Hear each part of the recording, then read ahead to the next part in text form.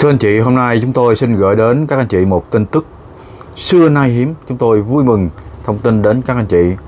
một tin tức xưa nay hiếm như chúng tôi vừa nói. Đó là Bộ Công an đã hủy một quyết định của Công an tỉnh Bình Thuận khi xử phạt một người dân. À, người dân này đã phản ánh tình trạng lãng phí nơi cơ quan mình công tác trên mạng xã hội và bị công an tỉnh Bình Thuận xử phạt với tình tiết tăng nặng buộc gỡ bài viết đó đi trên mạng xã hội YouTube. Nhưng Bộ Công an khi thẩm tra hồ sơ đã quyết định rằng quyết định của Bộ của Công an tỉnh Bình Thuận là sai. Và chúng ta xem coi tình tiết vụ việc này như thế nào. Nó là việc nhỏ thôi nhưng rất thú vị và cho thấy rằng những ờ, tiếng nói đúng đắn, đúng pháp luật sẽ được quan tâm và sẽ được bảo vệ như thế nào. À, mới đây Bộ Công an đã yêu cầu Công an tỉnh Bình Thuận hủy bỏ quyết định xử phạt liên quan đến ông Nguyễn Nhân Kỳ, cán bộ nhà máy nhiệt điện Vĩnh Tân 4. Trước đó vào ngày 1 tháng 11 năm 2022, bảo ông Nguyễn Nhân Kỳ nhân viên phòng hành chính lao động thuộc nhà máy nhiệt điện Vĩnh Tân có đơn thư gửi đến các cơ quan chức năng báo chí để phản ánh một số lãnh đạo nhà máy nhiệt điện Vĩnh Tân 4 và ông Nguyễn Trọng Dũng, trưởng phòng hành chính và lao động lập chứng từ khống về khách sạn, ăn uống để thanh toán với số tiền trên 600 triệu đồng trong chi phí phục vụ tổ chức, phục vụ tổ công tác kiểm soát tiêu hao nhiên liệu của, của Tập đoàn Điện lực Việt Nam làm việc tại nhà máy nhiệt điện Vĩnh Tân 4 và một số vấn đề khác chủ yếu liên quan tới chi phí văn phòng và hoạt động thường xuyên của nhà máy. À, trước đó,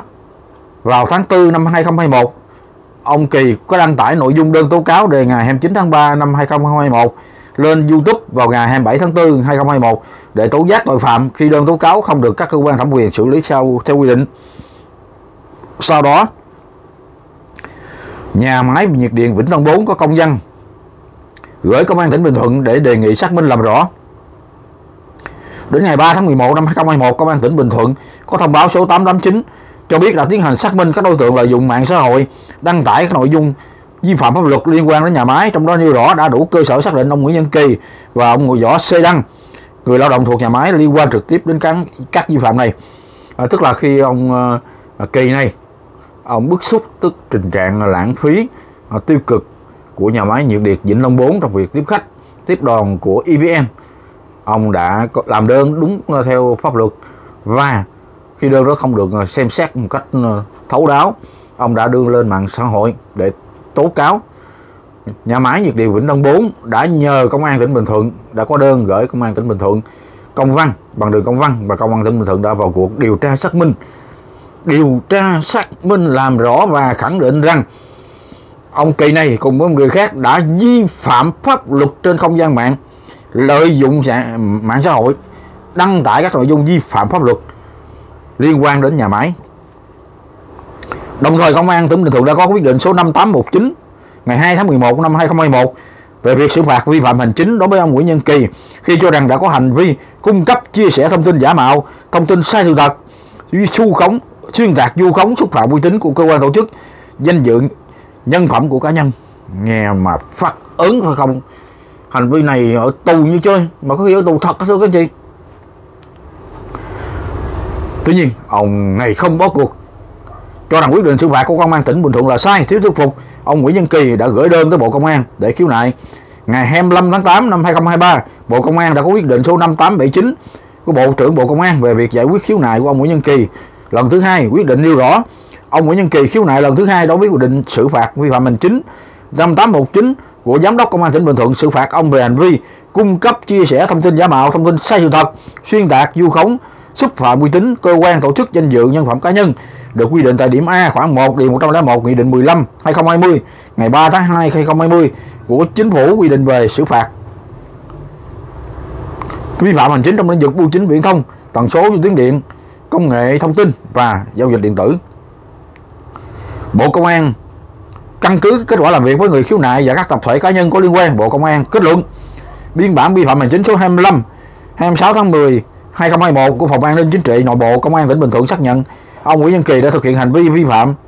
cung cấp chia sẻ thông tin giả mạo thông tin sai sự thật xuyên tạc vu khống xúc phạm uy tín của tổ chức danh dự cá nhân của cá nhân xúc phạm uy tín của cơ quan tổ chức danh dự nhân phẩm của cá nhân là không đúng. Ờ, tức là bộ công an kết luận ờ, biên phạm ờ, vi phạm hành chính với nội dung cực kỳ nghiêm trọng như thế, nhắm vào ông Nguyễn Văn Kỳ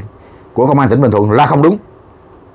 Quyết định xử phạt vi phạm hành chính số 5819 ngày 2 tháng 11 năm 2021 của giám đốc công an tỉnh Bình Thuận đối với ông Kỳ, ông Nguyễn Văn Kỳ về hành vi vi phạm hành chính, cung cấp, chia sẻ thông tin giả mạo, thông tin sai sự thật, vu khống, xúc phạm uy tín của cơ quan, danh dự, nhân phẩm của cá nhân. Quy định tại điểm A khoảng 1 điều 101 nghị định số 15 2020 ngày 3 tháng 2 của 2020 của, của chính phủ là không đúng. Văn bản của bộ công an khẳng định tức là công an à, công an tỉnh bình thuận à, khẳng định nội dung của ông nguyễn văn kỳ là sai sự thật và căn cứ vào công dân số mấy số mấy số mấy của chính phủ nghị định số mấy chính phủ phạt ông này. Thì bộ công an nói rằng giám đốc công an tỉnh bình thuận đã sai văn bản của công an tỉnh bình thuận đã sai và ông kỳ là đúng về tình tiết tăng nặng Bộ Công an cho rằng Công an tỉnh Bình Thuận xác định tình tiết tăng nặng đối với ông Nguyễn Nhân Kỳ với nội dung sau khi vi phạm đã có hành vi trốn đánh là chưa phù hợp, chưa thuyết phục. Công an tỉnh Bình Thuận nêu biện pháp khắc phục hậu quả là buộc gỡ thông tin sai sự thật là không cần thiết, là không gỡ luôn. Không những thế, Bộ Công an cũng cho rằng quyết định giải quyết khiếu nại lần đầu số 2162 ngày 22 tháng 4 của 2022 của Giám đốc Công an tỉnh Bình Thuận kết luận khiếu nại của ông Nguyễn Nhân Kỳ là khiếu nại sai, là không đúng từ những căn cứ này, Bộ Công an cho rằng quyết định xử phạt vi hành chính vi phạm hành chính của giám đốc công an tỉnh Bình Thuận đối với ông Nguyễn Nhân Kỳ về hành vi vi phạm hành chính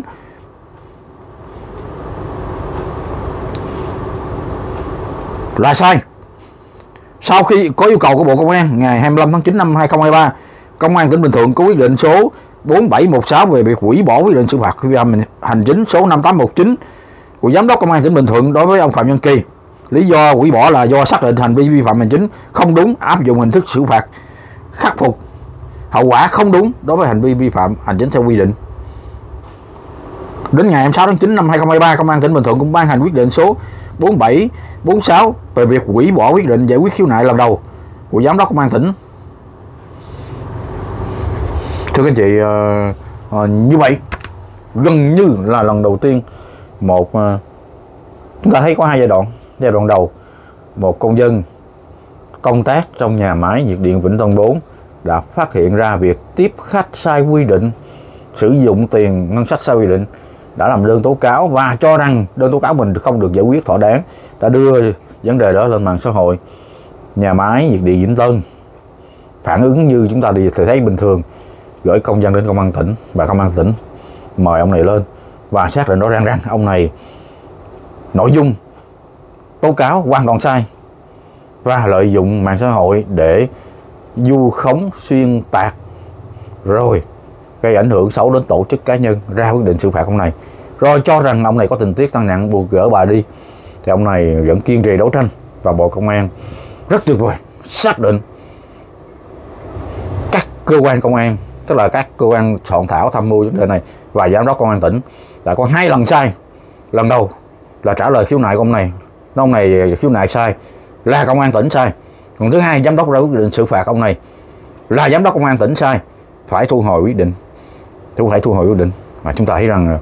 à, rõ ràng rằng việc à, dùng không gian mạng để đấu tranh một cách hợp pháp là rất đúng đắn và có hiệu quả. Và lần đầu tiên việc mà các cơ quan nội bộ tỉnh dùng quyền lực của mình để tru dập một con dân khi họ có ý kiến đúng là chuyện bình thường rất dễ dàng xảy ra phải không? Và thường thường là công dân người ta uh, thua cuộc thôi xử phạt mấy triệu đồng là thôi. Nhưng ông này không chịu. Và bộ công an đã thẩm tra hồ sơ rồi cuối cùng đi tới một quyết định chưa nay hiểm là khẳng định giám đốc công an tỉnh sai toàn bộ các phòng ban liên quan đến vụ này của công an tỉnh sai. Và chưa hết những việc này công an sẽ đang làm tiếp tục về sự có lãng phí hay không ở nhà máy nhiệt điện Vĩnh Tân 4 à, chúng tôi sẽ theo dõi vụ việc này và tiếp tục thông tin đến các anh chị. Xin cảm ơn anh chị rất nhiều.